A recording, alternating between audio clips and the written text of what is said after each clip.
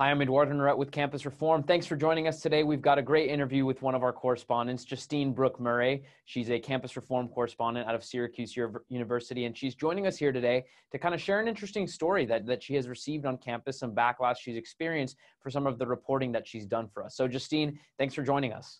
Yeah, thanks for having me. Okay, so walk the the viewer through what's gone on. I mean, I know you've done a lot of great reporting for us at Campus Reform, and you basically brought to our attention um, some feedback, some pretty nasty feedback you had been getting from a professor. Uh, he called you a disruptor, um, so, sort of went after you on social media for some of the reporting you've done for us. So kind of walk us through where this started, why it started, um, even you know what story sort of prompted him to react like this. This professor has been a professor of mine since freshman year and then again sophomore year. And this year, although he's not teaching one of my classes, he's still in charge of my major. So when I report on my stories, sometimes I'll get or a lot of times I'll get Facebook notifications, but I found out that this professor was actually posting about not just my stories, but about me in general on his public Facebook page. And I realized this almost a year ago, but I didn't think much of it because, after all, uh, it was just the professor posting about my article. Everybody has the right to their own opinions. But then it started it started from campus reform articles but it launched into when i met president trump and i stood next to him during the free speech executive order he posted an image of me with him on an article uh, with some nasty words just uh, he said like ugh. And in the comments section some professors were some professors and some non-professors uh, were saying oh i know her. I know justine. She's a right-wing agitator. And i saw that this professor was liking their comments. But it really got to the point where just last week this hasn't happened before, but I woke up to a notification from my professor on Facebook. He shared one of my posts asking a question during the Republican versus Democratic debate on campus, and he wrote in the headline, here you go. And I didn't know what he meant, but I looked down, and his previous post was, quote, we have some pro Trump disruptors on campus. Now, I don't know how this professor could have found my Facebook without him actively searching for me. I never sought him out on Facebook or interacted with him or liked or friended him. So he must have just searched me. It it started with the articles and now this professor is actually tagging me online to his friends, to his followers to go and harass me. Well, and you made a great point. You know, at Campus Reform, we report on things that professors say, that administrators say, but you know, it's very straight reporting. There's no opinion in there. We never call for you know anyone to be fired. We believe in in both professor and student rights to free speech. But it seems this professor has re- really has a problem, as you mentioned, with with some of the things you do on campus. Um, so l- let me be clear: w- were you ever a student in his class? I was. I was a student twice in his class. And when you were in his classroom, um, was did that overlap with the time frame that you reported for campus reform? And if so, um, or if not, you know, was he aware of your other activism on campus? Uh, and did he ever really take out his disagreements with you in the form of grading or in the classroom, or or did his kind of uh, targeting of you online occur sort of after you were his student? His targeting, targeting online occurred a little bit after. It was the semester after he taught me.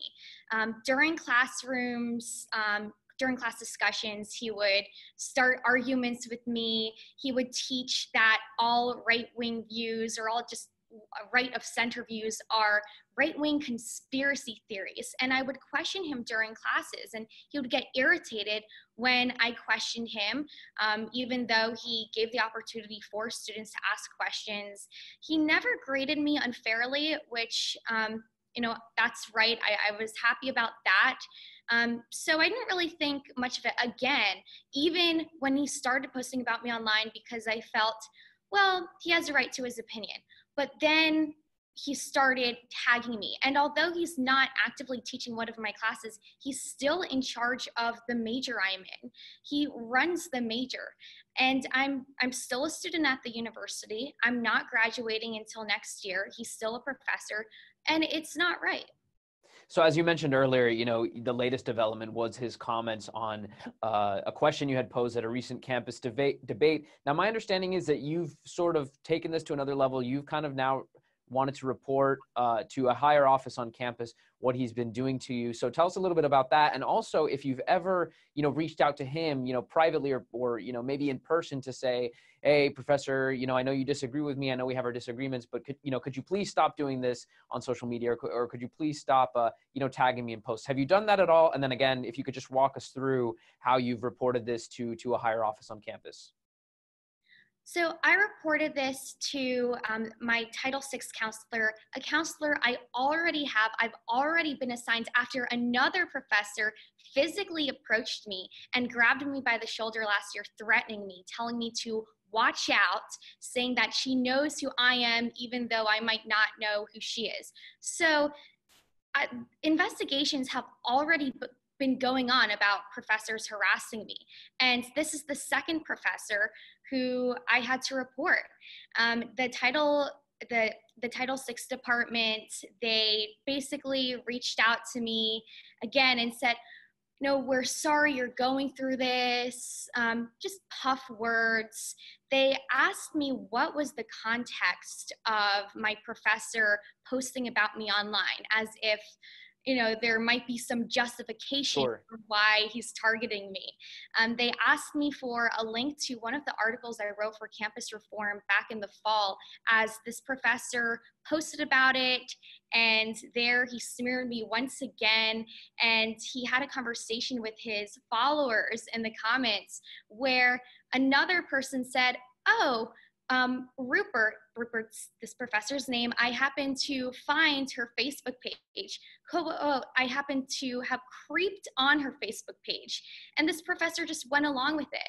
Um, so so far, nothing's really happening. The Title VI department um, did not reach out to me other um, than with that response um, regarding this professor who targeted me online.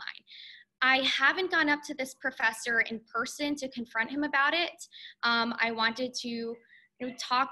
I wanted to talk with my family first, to be honest, because my family's concerned. My parents are, of course, as parents, a little bit paranoid about my safety, and they have every right to be.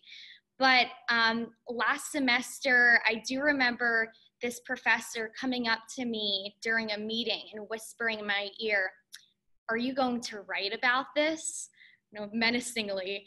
And you know, it's it's startling. I got caught off sure. guard. Well, you you alluded to it uh, a little bit in your last answer, but uh, the next question I was going to ask you is, how has this made you feel? Has have you felt that um, you know maybe going forward you kind of have to hesitate and, and rethink some of your activism, reconsider whether you will participate in activism? I mean, you you seem to be resilient in that, and and in, in the fact that you will continue to be a conservative on campus, despite the fact that you have received this pushback from professors and whatnot. But overall, how has it made you feel? I mean, what what have your friends said? Uh, are people you know sympathetic to you on campus? Even maybe some students who you know who maybe don't agree with you politically. I mean, are you hearing that from other people that this is really inappropriate and, and something that shouldn't be tolerated? a few people have spoken to me privately. A couple of students sometimes approach me in the hallways or in the library um, saying, hey, you know, thank you for what you're doing. But these students are afraid to speak up. Someone reported to me that they actually lost their roommate because they said that they knew me and they defended me when I was mobbed at a protest I was covering back in November. Um, and that comes with the bad so we have there are a few people on campus who have expressed support who you know, tell me to hang in there but i get nervous walking around on campus now because often i'll get approached by people who aren't so friendly someone on, on on the school bus a few weeks ago i overheard them in the background saying oh that's that girl again uh, she exploits people at protests um, I'll go confront her and I'll call you when it's done. And this person was talking to one of his friends.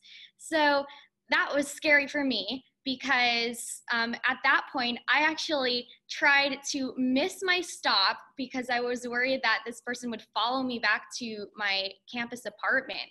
And, you know, I had to speak to um, my Title VI counselor about that. Um, in regards to being afraid to continue my activism and reporting on campus, I feel that if I stop now and if I let myself um, be fearful because of these incidents, then the people who want to shut conservative students down, they will win. And I'm not here to let that happen. Um, until I graduate, I'm going to be here on campus. I'm going to continue exposing biases because I really want to set an example for other conservative students and incoming students, not just at Syracuse, but on college campuses across the country, that they don't have to be afraid anymore just because they hold different beliefs.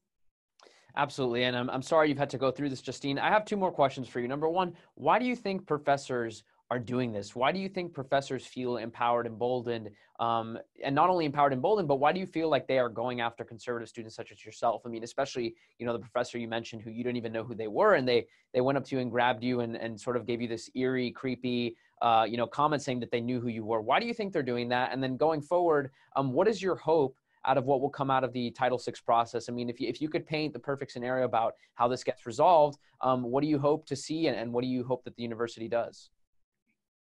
professors, especially tenured professors, are doing this, they feel like they're able to intimidate students with different beliefs because no one's stopping them. No one has come up to them yet and said, hey, uh, you know, this isn't okay. And when we do report it to Title VI departments or departments of diversity and inclusion on campus, these professors know that nothing will happen because usually nothing happens. If this happened to a liberal student or a student of a certain race or ethnicity, then of course the whole campus would uh, go in a complete uproar, in a, in a complete protest, and you would hear about this all over the mainstream media, just like you did with the recent racist and bigoted incidents that have occurred on our campus. So these professors are actually getting empowered and they feel empowered to intimidate students because nobody, no one's putting a stop to this. Um, in regards to what I hope I can get out of this and um, possibly resolve the situations with the professors who have threatened me, um, the Title VI department before with the professor who grabbed me by the shoulder said that they'll have a meeting with me, her, and her higher ups. And I don't know whether I, I don't know what this university, uh, whether they should sanction these professors or, but they need to do something to get out the point that you can't threaten students, even if they disagree with you. And I hope the professors who have threatened me will get that in their brains. Well, keep us posted, Justine. Let us know what happens. Uh, update us on any things that the university has done, anything that's happened in your process, and definitely if you experience more targeting from these professors. Justine Brooke Murray from Syracuse University. Thanks for joining us.